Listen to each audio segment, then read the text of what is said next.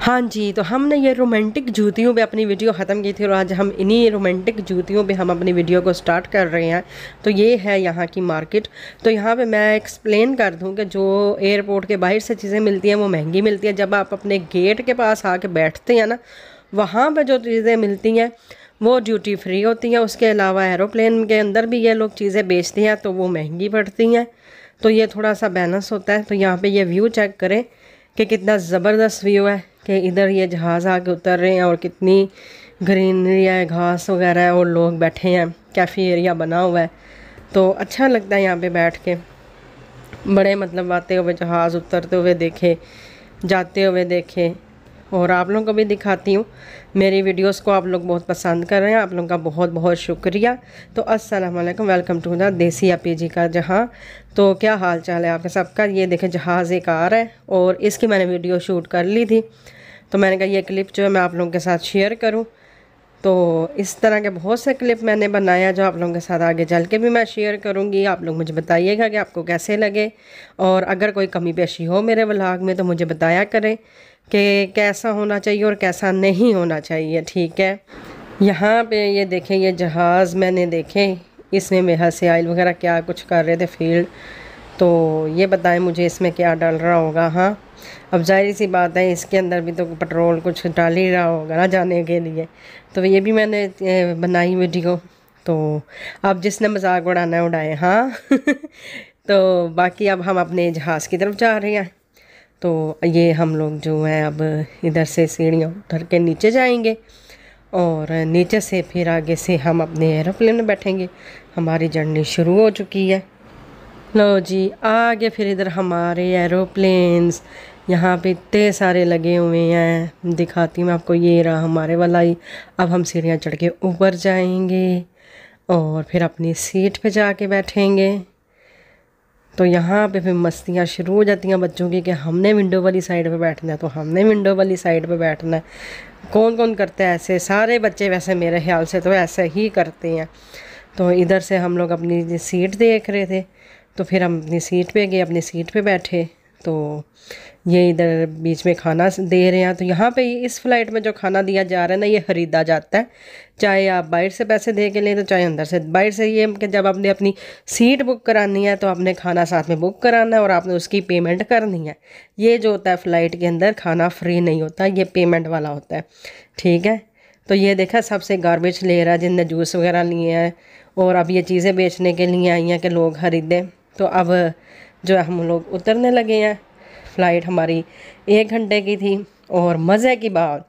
हम लोग जब मैनचेस्टर से बैठे थे तो कितनी धूप, गर्मी का टाइम था, तीन चार बजे का और डेढ़ दो घंटे बाद हम इधर पहुँचे हैं। तो यहाँ पे रात का टाइम हो गया। एक ही दिन में, दो घंटे में रात।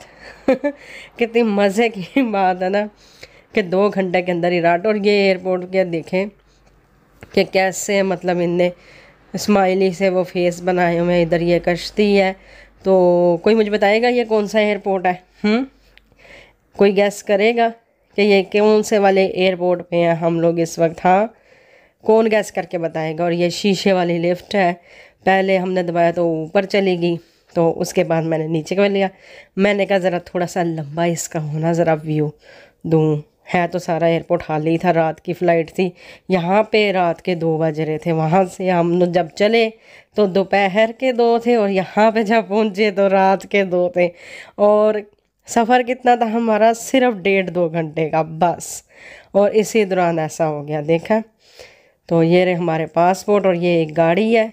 ये भी बुक करवानी पड़ती है कई लोग पहले से ही बुक करवा लेते हैं अपनी टिकट्स के साथ ताकि उन्हें चलना ना पड़े। चलो चलो। तो इसके भी इसमें मेरे हाथ से पैसे होते हैं क्योंकि ये जो फ़्लाइट्स हैं ना ये यूरोप की लोकल फ़्लाइट्स होती हैं। ये कोई कतर और ये दोहा वाली उस तरह की नहीं होती। ये यूरोप के ममालिक में ना लोकली चलती हैं ठीक है? एक मुल्क से दूसरे मुल्क जाने के लिए। तो ये कोई इतनी महँगी भी नहीं होती तो ये हमारे पासपोर्ट है। इसमें आपने अगर कोई भी सामान एक्स्ट्रा है तो उसके पैसे अलग से देने हैं। ये इधर देखें मसाज सीटें ये कुर्सियाँ भी लगी हुई हैं।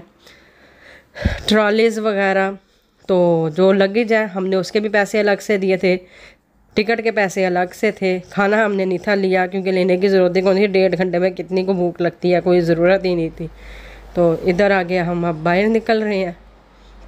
यहाँ पे जो है, बाहर निकल रहे हैं। तो आगे चल के आपको दिखाती हूँ। ये देखें, लवारसों का सामान रखा हुआ है। जिस सामान का कोई कुल्ली वारस नहीं होता, वो इधर ऐसे फेंक दिया जाता है, इकट्ठा करके रख लिया जाता है। ये देखें, लवारसों का सामान रखा हुआ है, सारे का सारा। सारा लवारस खानों का सामान है। चलें जी, अब मैं आपको दिखाऊँ, जो सामान गुम हो जाता है ना यहाँ जो लोगों का छूट जाता है, वो ऐसे ऐसे इन्हें सारा इकट्ठा करके स्टॉक लगा के रखा हुआ होता है।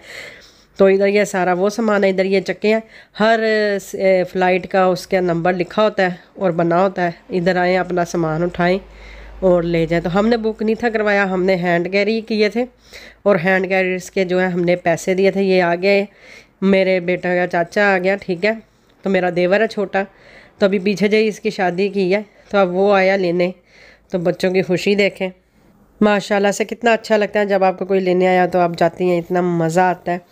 और ये फीलिंग जो होती है ना, इसको सिर्फ़ वही लोग समझ सकते हैं जो काफ़ी अरसे के बाद अपने रिश्तेदारों से मिलते हैं और जो अपने काफ़ी अरसे के बाद रिश्तेदारों को लेने के लिए आते हैं। दूसरा किसी ने क्या समझना है? तो आप लोग बताइएगा मुझे आपको ब्लॉग कैसा लगा। ये अब हम एयरपोर्ट से बाहर आ गए हैं और आगे चलते हैं, फिर मैं आपको दिखाती हूँ। ये एयरपोर्ट का रात का सारा टाइम है। तो रात में क्या व्यू आना है? वापसी पे जब हम लोग दिन के टाइम जाएँगे, फिर दिखाऊँगी। फिर ये मेरे देवर की कार है, जिस पे वो हमें लेने आया तो ये उसकी बिल्डिंग एरिया है, क्योंकि वो फ्लैट में रहता है ना तो ये वो है, वो एरिया है तो यहाँ पे हम लोग नीचे उतरे, फिर जो है, वो कार पार करके आया, फिर हम ये सीढ़ियाँ चढ़ के ऊपर आए तो ऊपर आए, फिर मैंने किचन में आई, मैंने कहा, खाने की एक बनाऊँ तो इसका ये बिजली वाला चूल्हा है तो ये खाना इसने खुद पकाया और कीमे वाले पुलाव बनाया और साथ में चिकन का सालन बनाया। तो ये चाय, क्योंकि मेरे देवर की जो मिसेज़ है वो भी पाकिस्तान है, उसके कागज़ नहीं बने क्योंकि कुछ ही अर्से पहले उसकी शादी हुई, अभी एक साल भी नहीं हुआ। तो मेरे चैनल पे अब आपको बहुत सी ऐसे घूमने फिरने वाली टूरिस्ट किस्म की वीडियोस नज़र आएँगी, ठीक है? तो बहुत सी मैं आपको अच्छे अच्छे व्यूज़ दिखाऊँगी। अपनी तरफ़ से आप, आगे से आपकी मर्ज़ी, आपको अच्छा लगे या ना लगे तो मेरे चैनल को लाइक कर ले, शेयर कर ले सब। और सब्सक्राइब कर ले और मुझे बताएँ आप लोग कमेंट्स करके कि ये आपको कौन से वाला कंट्री लग रहा है, कि हम कौन से मुल्क में गए हैं, किस मुल्क की मैं आपको सैर करवाने लगी हूँ। मैं आपको जो है तीन मुल्कों की सैर करवाऊँगी। अब वो तीन कौन कौन से हैं, ये ऐसा ऐसा आप जैसे जैसे मेरे चैनल पे रहेंगे तो आपको वीडियोस मिलती रहेंगी। हम फिरेंगे तीन मुल्क, ठीक है? थ्री कंट्रीज़ हैं जिनकी हम लोग सैर करेंगे। जितनी मैं करूँगी, उतनी आपको दिखाऊँगी, जितनी दिखा सकूँगी।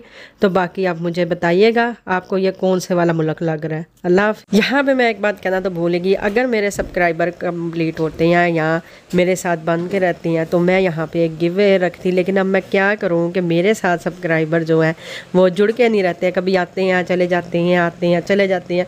तो ऐसे सब्सक्राइबर्स के लिए बंदा क्या गिव अवे रखे? वरना मैं ये गिव अवे रख दी कि मुझे बताएँ कि ये कौन से तीन ममालिक हैं जिनकी हम सैर कर रहे हैं और आपको वीडियोस दिखा रहे हैं।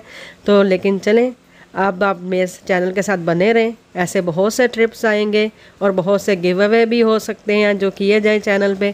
तो इसके लिए आपको मेरे चैनल पे रहना पड़ेगा मुसलसल, मेरी वीडियोस देखनी पड़ेंगी और इन्हें वॉच करना पड़ेगा, मेरे चैनल को सब्सक्राइब करना पड़ेगा, मेरी वीडियो को लाइक करना पड़ेगा और इसे अपने फ्रेंड्स फैमिली में शेयर करें और मुझे साथ में आप कमेंट्स करके बताएँ कि आपको मेरी वीडियो में क्या क्या चेंजिंग चाहिए और गिव अवे होने चाहिए कि नहीं और कैसी होनी चाहिए।